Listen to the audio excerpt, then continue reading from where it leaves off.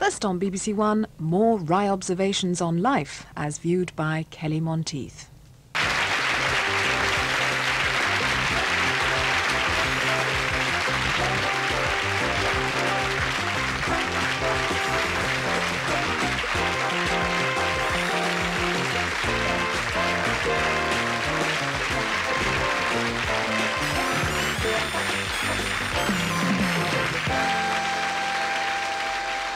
Hi, and welcome to Kelly Monteith's BBC Memories. I'm, of course, Kelly Monteith, and we have some more clips for you. But I, I want to explain basically how the show is. The show wasn't just a series of clips and sketches and things, it was um, all integrated into the body of the show.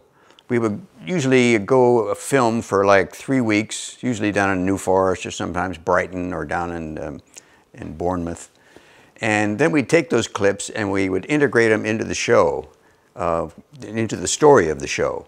So these are just uh, clips that have been taken out of whole shows with um, that I usually have a storyline and um, you know um, a story basically. So that's I, I, think there was a Monty Python thing because you you would see the film and then you'd see the the live show that we were doing on stage, and obviously there was a difference. There's film and then there's tape, TV tape in those days. And I think there was a funny Monty Python sketch one time when the guy was in the live set on TV and he'd open the door and then he'd stick his head out and then they'd, quit, uh, cut to a film of him going, oh, I'm a film. Then he'd go back in and go, I'm on tape. Oh, I'm film. I'm on tape. It was very funny and, and it's kind of an inside thing, but basically that's, uh, that's what we did the same thing. We had film and then and uh, tape on a, on a live set. The first one we're going to show you is uh, probably every man's nightmare. I'm sure a lot of men have been, been through this if you've gone to some formal function where you have a bow tie, and most guys have a clip-on bow tie. But I always thought it was cooler to have a tie-on bow tie, just one you tied yourself. Well, that ain't easy, not for me anyway. And this, uh, this little clip shows the difficulties of um, tying a um, bow tie for a formal function where I use, uh, in those days, a VCR tape to show me how to do it. So you can roll them. Let's get some help here. How to tie the bow tie. 37th in the series on the 20th Century Fop. here.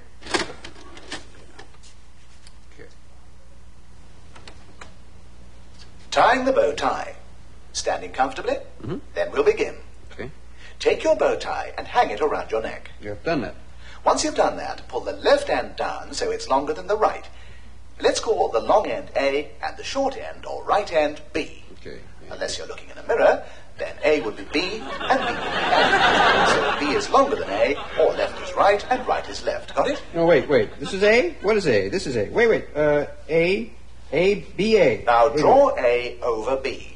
Uh, oh, okay. Turn the right hand end A up towards the neck, under B, into position shown so that NA is up towards nose and B is down towards toes. Okay. A nose, B toes. Now take NB and yeah. make a horizontal loop as shown. Oh, yeah, okay. Drop A straight down across front of face of the loop, which is B, which you've just made. Wait a minute. What, what have I just made? The loop, which is B. This is B. Okay, this is it. Now, the last step is crucial, so listen carefully. Okay. Loop A in towards your neck and slip the point of the loop, which is H, up under the H. horizontal loop B, and the indicated by arrow C. What? Pull each loop to tighten the knot, and the knot is tied. What? Let me run that back. Listen carefully. Loop to loop A under your neck B and slip end B over end C. Take end E and pull over I. Remember that it's I before E except after C. That the same guy that's giving these instructions? Yes, it is the same guy.